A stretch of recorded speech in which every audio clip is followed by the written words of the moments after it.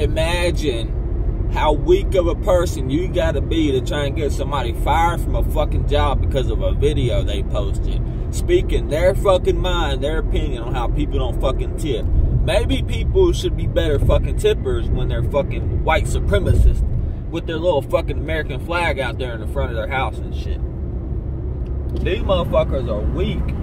They weak as hell. And you know it's a goddamn weak ass Trump supporter. You know it is. They all do the same fucking shit.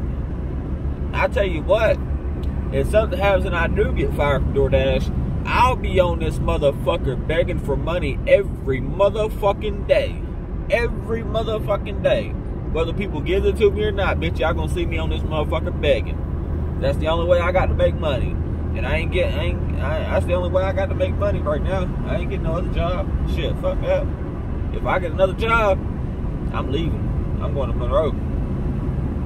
I'm going to stay in Monroe and get me a job in Monroe and, and stay up there. Fuck that. I ain't staying in Wadesboro and working no damn good job.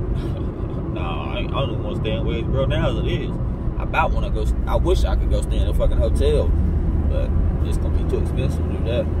I ain't gonna, I ain't gonna make no money.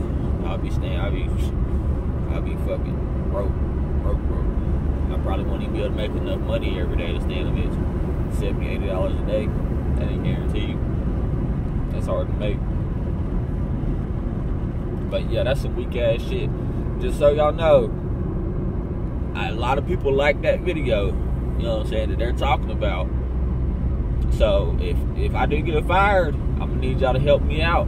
I'm gonna need y'all to. I might need y'all to cash out me five dollars. Fuck a dollar. I might need to cash out me five or ten or something like that. Yeah. Yep.